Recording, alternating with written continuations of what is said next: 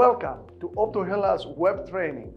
Welcome to the new episode of iAnalyse in Ophthalmology. My name is Christos Papanikolaou and together we are going to analyze the functionalities of ROP cameras. Today we are going to analyze the Neocam SW8000 ROP camera by SUOER. An ROP camera is a very powerful and useful tool in the hands of a pedo-ophthalmologist when he examines a newborn child. The all-new Neocam SW9000 is a portable, innovative, high-quality wide-field imaging system. It is the world's first ROP portable camera with built-in fluorescein angiography module and it can be operated with a personal computer only.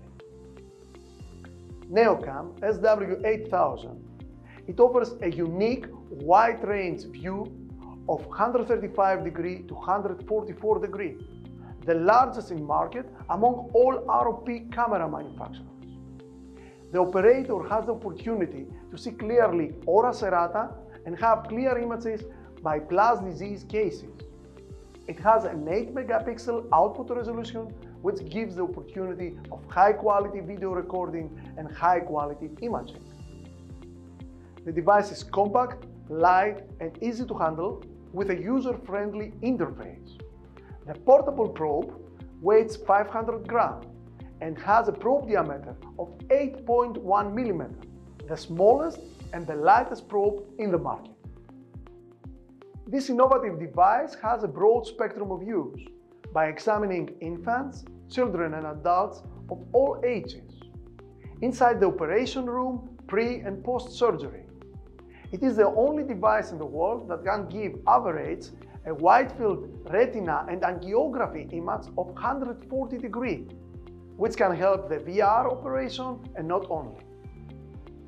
The Neocam SW8000 is coming with a high-end, convertible 2-in-1 touchscreen laptop with a multifunctional foot switch which can help the operator in examination with high maneuverability and high-end performance. SW8000 Neocam is an innovative, new age, high-end, portable ROP camera which incorporates everything what a pedo-ophthalmologist is needing in his all-day practice. It is delivered in Europe and Middle East markets by the Optohellas distributor network and has three years warranty. Thank you for watching iAnalyse in Ophthalmology Hope to see you in our next episode. Stay tuned.